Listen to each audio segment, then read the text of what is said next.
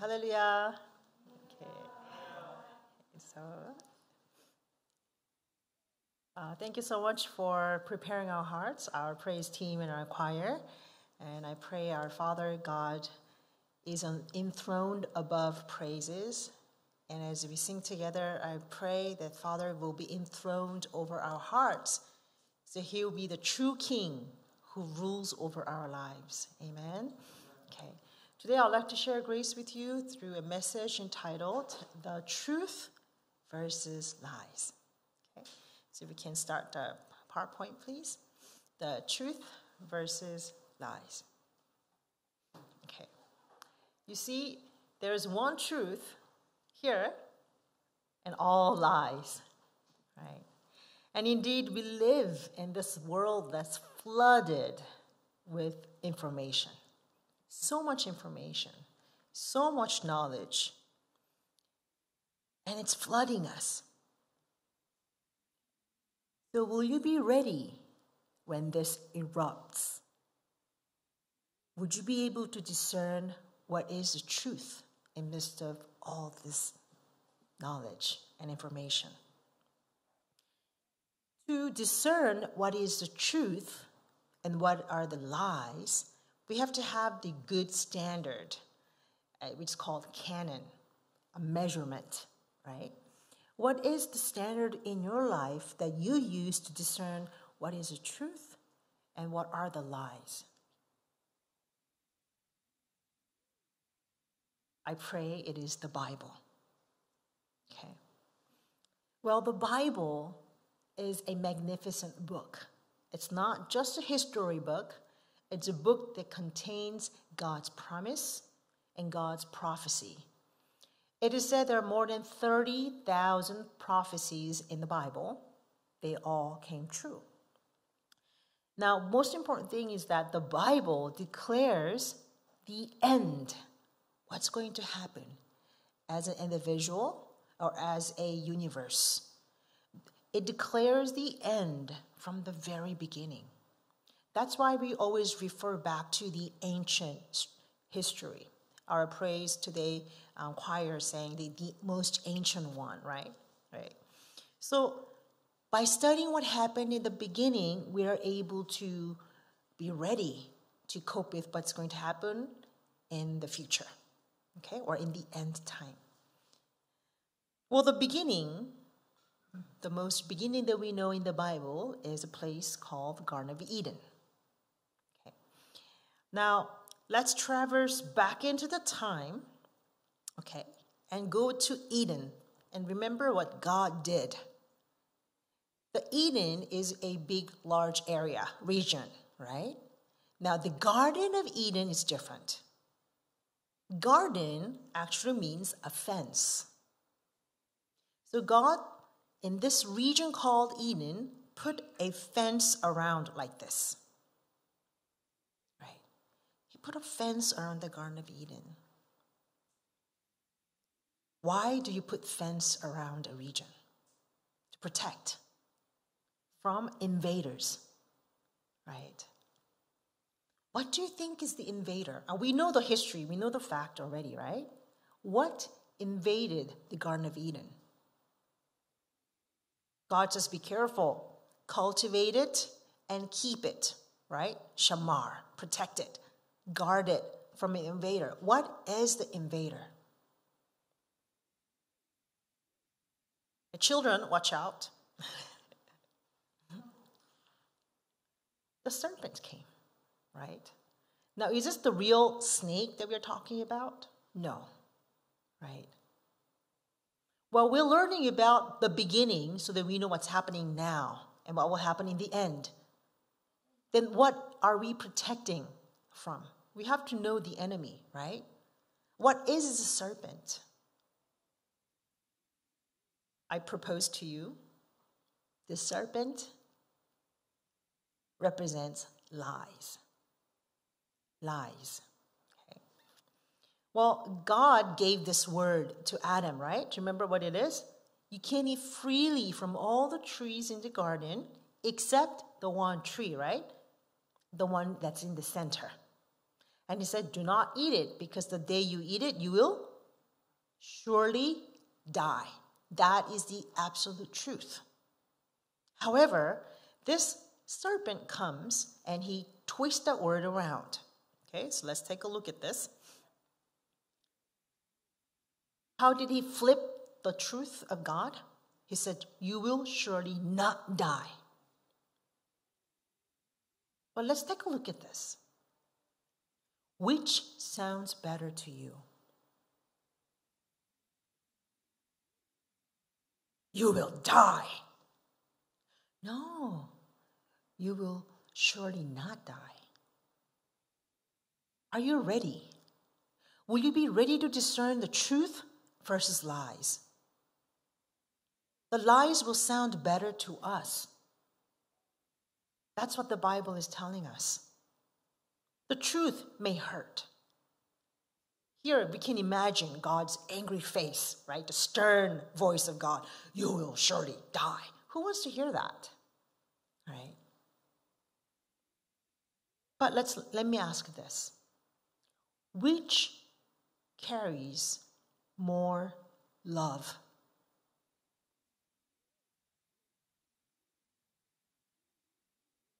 Can you feel that love? This is all about my relationship with Father, right? The moms, you know, moms here, always say no, right? But we children want to hear yes.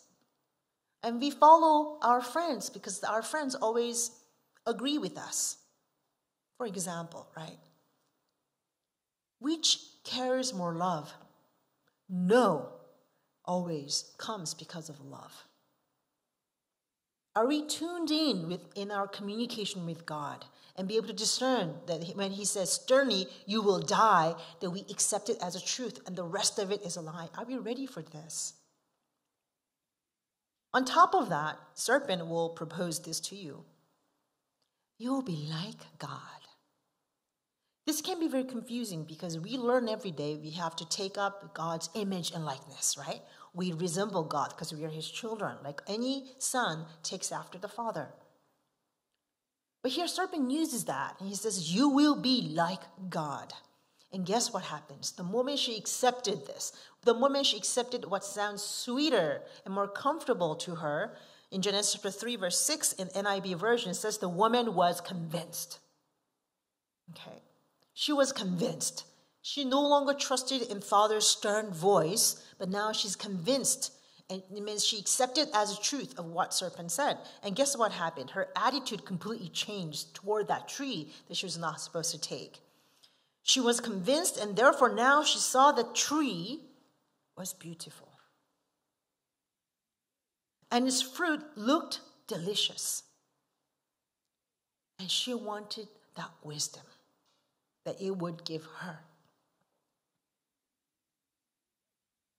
We have to understand this is the way that Satan will come to us and trick us so that we will drop Father's word. Okay?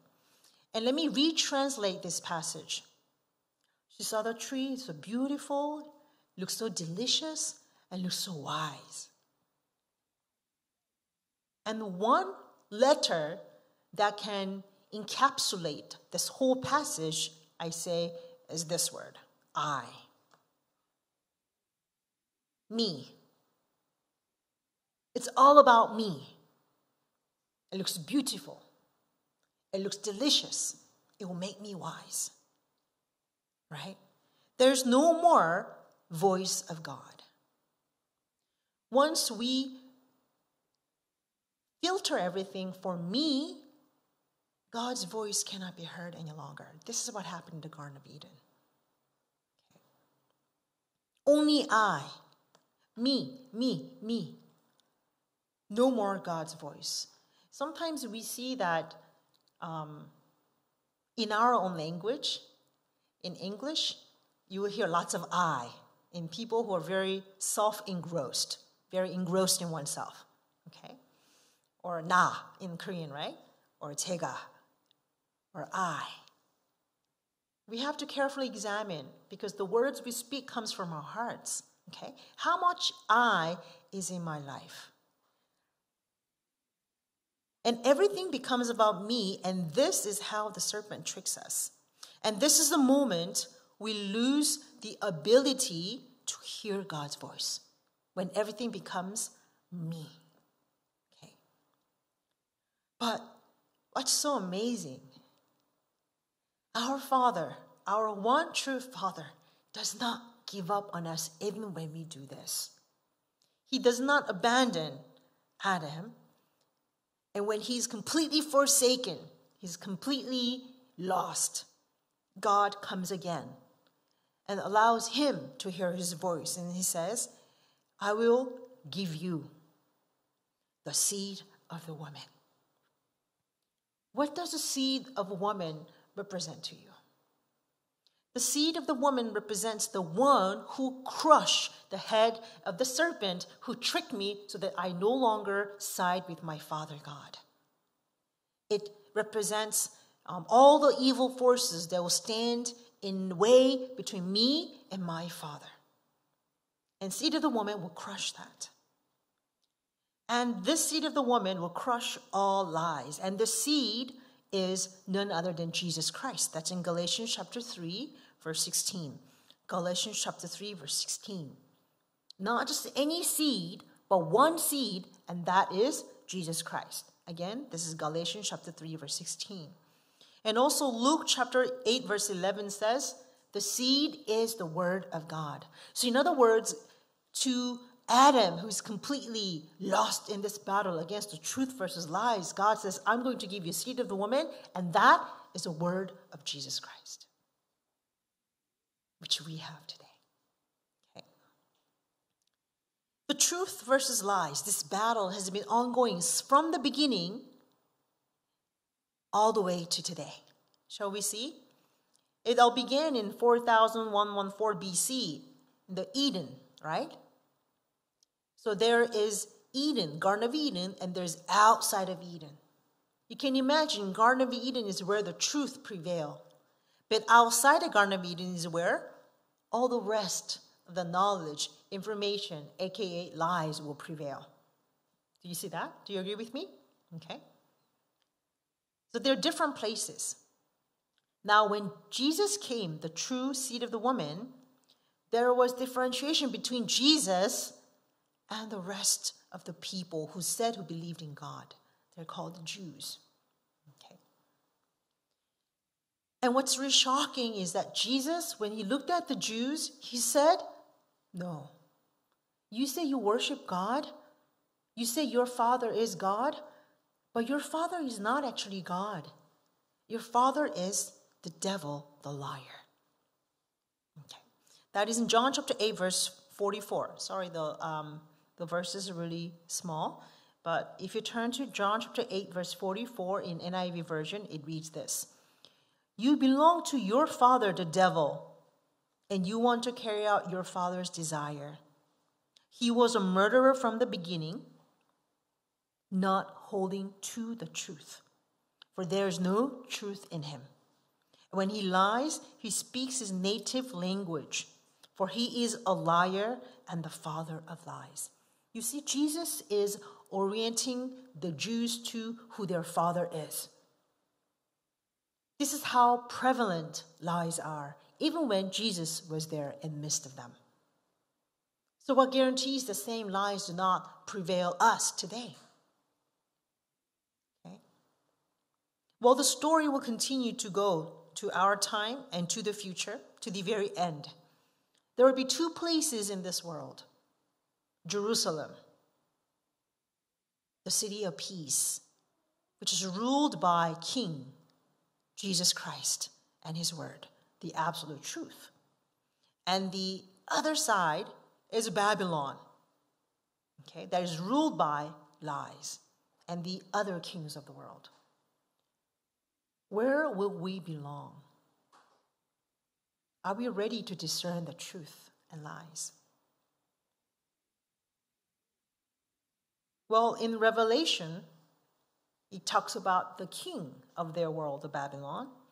In Revelation chapter 12, verse 9, it says this And the great dragon was thrown down, that ancient serpent, right? The one that we saw in the Garden of Eden, But the ancient serpent, his identity is exposed. He says, The ancient serpent, who is called the devil and Satan, the deceiver. Deceiver means those who lie, right? Deceiver of the whole world. So when Satan deceives the whole world, are we going to be ready? And also Paul said the same thing in 2 Corinthians chapter 4 verse 4. The god of this world has blinded the minds of the unbelievers. There are gods of this world, right? To keep them from seeing the light of the gospel of Jesus Christ. And this is a reality that we live in. What is blinding our minds today, then? That's a very important question that we must ask ourselves. What is preventing us from seeing the truth? What causes in this world today to us uh, causes us to be engrossed with ourselves? In other words, what provokes us to be me, me, me, or I, I, I?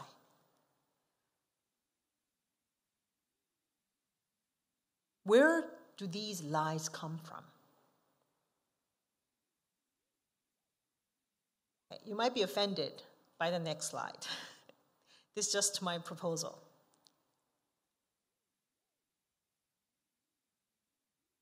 A social network. Okay. We live in IT world. The world is just flooded with so much information. But what is I'm not saying the social network is a devil or Satan. That's not what I'm saying. I'm just saying how the devil uses these inventions that humans have created. Okay.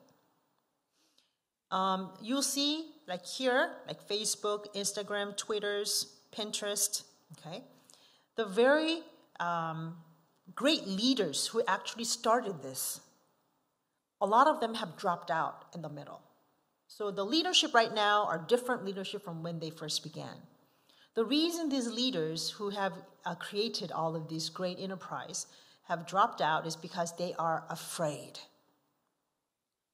These experts sound the alarm on their own creation. They left their own empires because they saw the dangerous impact of the social network as it is becoming a threat to humanity. One example is something called this algorithm. Algorithm, we know, like if we watch something, something that's similar is pops up, right? In whatever social network account you use or YouTube. Algorithm is a very super smart computer that actually watches every movement that you make. It actually counts how many seconds you spent on that page. Okay. Everything we do is being watched right now. So if you say, wow, the algorithm is really cool, I was just thinking about this and it pops up, that means uh, you may be in trouble because a computer knows what you're thinking, what you want. Okay. And so these experts have actually, um, there are just many uh, documentaries in, in the world right now talk about this and they say, please do not um, push pin for, uh, do you want alarm to be sent to you, for example? Okay, so we don't want to give our information, right? If you are unsatisfied with the algorithm, that means you may be doing well. You're not caught by the system. But anyways, what the algorithm does is that it only presents to you the information that you want to see. But the world is so big. You cannot know all the truth in this world, right? And because you're seeing only what you want to see, you are not able to see the big part of the world. And this creates bias. Okay, bias. So I only want to see the elephant. All my mind is filled with the elephant. And I read about the elephant, and the elephant becomes a truth. So if anyone comes around and talks to me about a donkey, that person is a nonsense. Don't you know the whole world is about elephant? And guess what happens? So anyone with a different opinion to you will become flat wrong. That is called the bias. this will break relationships. This will break any of um, collaboration. This will break any synergy that we can have by bringing different ideas together and work together. So here, this can work toward dividing and fracturing all of our relationships. So we cannot be one. Okay? Just an important um, example is COVID. When it first came out, I don't know about Korea as much, but in America, we had just so much war. Um, we have really, the government in Korea has tight control over people, but in America, people are free to express, right? And so they say COVID is a hoax, means it's a lie. It's a, it's a, a conspiracy set by government. And I, I hate to talk about my family member again, but my brother was against. He's like, this is just a cool, and it's gonna go away. The vaccine is a, a government conspiracy whatnot. So he refused to take any vaccines.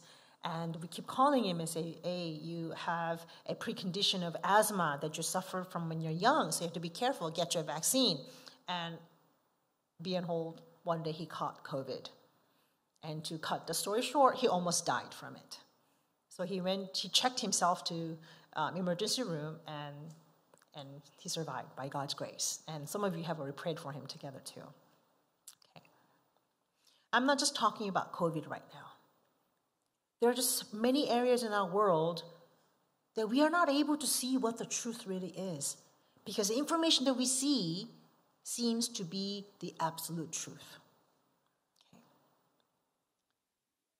The another uh, devastation that caused by social network is social network the name itself means it brings relationship together that's why it was created in the first place right across a distance across time we can come together but actually it's breaking relationships biased mind results in disconnect in our lives and we spend so much time on this massive information just influxing everywhere. And also, it's disconnecting our relationship with our families, with one another, even with God. Even their worship during the time with God, right? Quality time is taken away. And here we don't have many young people here, but you know, like at a dinner table or wherever, even when we meet, someone in cafe, I just met with this person. I've spent walking to cafe to meet this person, but then we pull out our phone and we check our phone instead of looking at each other. I'm like, what are we doing? Right? All these moments, quality time is taken away from our families, our gatherings. Okay. And our God is God of relationships. So relationship is very, very important with one another and with Him and also the self image. Because so much information is coming in, we lose the true self image that we have. In other words, we lose our self identity. Okay. Did you know that among children, um, the number one request at a plastic surgery is like, oh, I want to look like so and so, or, you know, him or her, right? But our children today, they go to this plastic surgeon and ask, Make me look good in my selfies. Who cares about the selfie? You might hate me for saying this, right? But it's not your real representation, right? You see, because our identity, our image is valued by how many likes that you get on your postings. That determines who you are. That's what's happening to our young people today. Okay. For example, they will say, I'm not good enough if I don't get enough pins or hearts or like it, right? But what about us? There's so much information, there's so much photos, so much things, life values that are just thrown at our life right now. And you're seeing all of that, right? What is the value of life that you pursue today? What is the standard of evaluation of my happiness? Let us really examine this. Our own evaluation will prevent us sometimes from seizing heaven in our lives. The Garden of Eden is right here. We might not be able to enter because of we depend on our own evaluation. And that's exactly what happened to the Israelites. In Numbers chapter 13, verse 33, these Israelites, with the promised land of Canaan right before their eyes, they said, Nope, we ain't going in there because they're giants. There also, we saw the Nephilims, the sons of Anak, are part of the Nephilims, and they evaluate themselves. Nobody told them they're grasshoppers, but they told themselves, We became like grasshoppers. Look at this in our own sight. And so we were in their sight. People are worried about what other people think about me. And we judge ourselves, we evaluate ourselves. Here, there's no place about God's sight. What are we basing our life by today? Brothers and sisters, we cannot let ourselves be measured by the world. The only true measurement standard comes from the Word of God. Okay. When we say we are not good enough, we are grasshoppers. God tells us in Isaiah chapter 43, verse 1. Shall we read this together? Ready, begin. Fear not, for I have redeemed you. I have called you by name, you are mine. Redeem, remember, does not only mean rescue. Redeem means to rescue me. He changed place with me. There's a price paid for, right? That's how precious we are because we belong to Him. And verse 4 says, Because you are precious in my eyes. That must be the absolute truth. It doesn't matter how we evaluate myself or one another, that's not the absolute truth.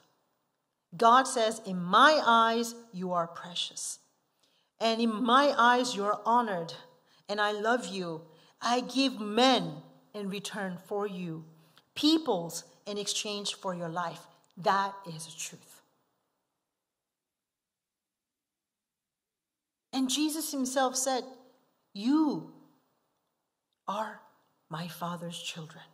Okay. Let's go to Galatians chapter 4, verse 6. Galatians chapter 4, verse 6.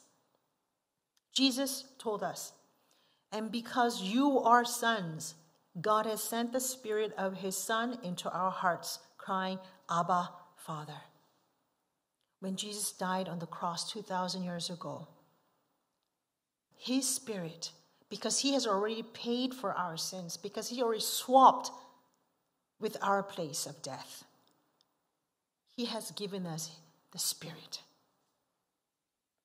And because of that, we can call Almighty God, even though we are not worthy, Abba, our Father. Brothers and sisters, this is our true identity. We must know that, live by it. Therefore, our children can also know it and live by it. Let us not have any longer identity crisis. All right? Nothing in this world can tell us who we are. Because Satan will use that. Psalm 82, verse 6 I said, You are God's, sons of the Most High, all of you. Then how do we know this is the truth versus what Satan said? You'll be like God. Sounds the same, doesn't it? It's all about whether you are connected with Him or not. When I becomes great, it will disconnect me from God. Okay. Our connection. When we are sons means you're connected, right? The sons look like the father because we're connected. This is who we are. And Satan will do everything in his power to overturn this. Okay? So when we are connected to him, we can do all things in Jesus Christ. Let's read this together. Philippians chapter 4, verse 13. Get ready, begin. I can do all things through Christ who strengthens me. I can do all things when we're connected. And this is a very famous um, example that our founding pastor always used, so I brought this here. he asked, Why do you wear glasses? Okay, and by your answer, we can tell how much I can do all things in Christ. Okay, how much positivity that we have in our lives.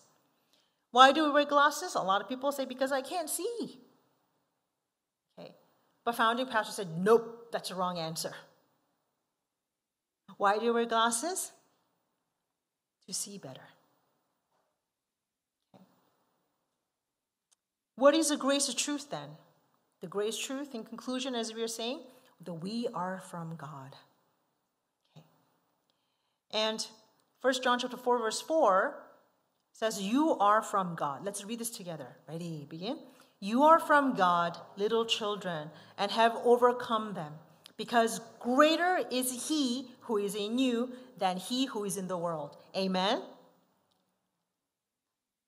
Satan will seize the whole world.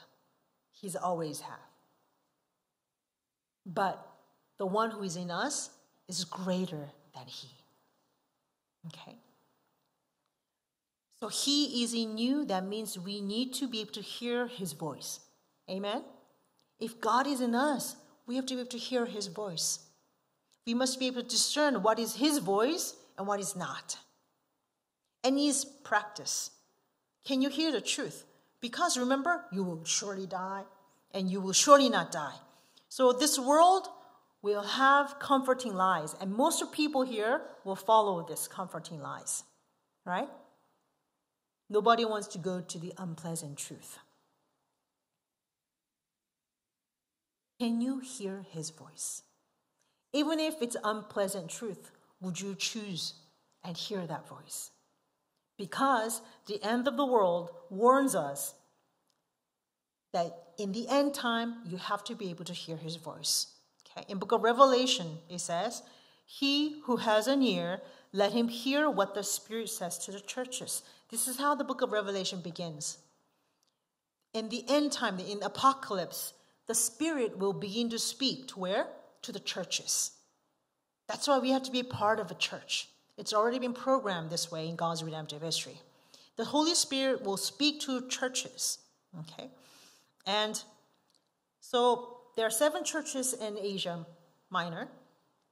In Revelation chapter 2, verse 7, the first church that appears is Ephesus, the church of Ephesus, right? And then Revelation chapter 2, verse 11, Smyrna. And Revelation chapter 2, verse 17, Pergamum. And Revelation chapter 2, verse 29, Thyatira. Revelation chapter 3, verse 6, Sardis. Revelation chapter 3, verse 13, the church of Philadelphia. And Revelation chapter 3, verse 22, Laodicea. The Holy Spirit will speak to the churches, and those who have ear will hear. So we must train our ears to discern Father's voice so that we can go to paradise. He who has an ear, let him hear what the Spirit says to churches. And Revelation chapter 2, verse 7 says this. Let's read this together. Ready, begin.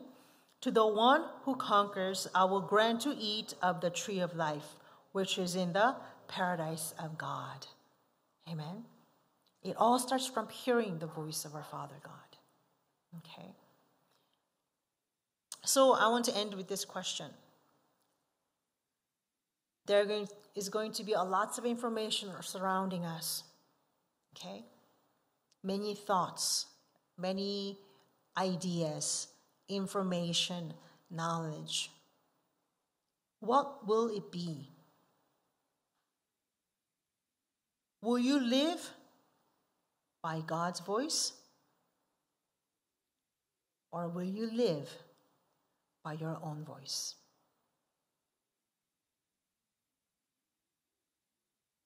When I listen to myself, and I listen to us, there's so many us. So many us. We leave out Father, we leave out Father's word, we leave out Father's sight, we leave out Father's voice. And I pray that this will become a turning point in our life. That with our own strength we can, but in Christ Jesus we can, right?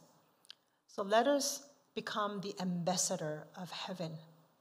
And we first practice to let go of all our eyes in our lives, empty ourselves, so we can fill us with His voice. So we are able to train our ears and recognize His voice. Amen. So let us be successful in our journey together. And I pray we will see all of us in paradise of our Father God. Amen. So, what will you live by? Truth and lies, right? At first, it will become blurry. Okay? And it will come, become clearer and clearer as our heart is set on it, right? And we will recognize, clearly see what the truth and what the lie is. Amen? Because Father's word is a truth. And your amazing Father is feeding you with His Word every day. Okay?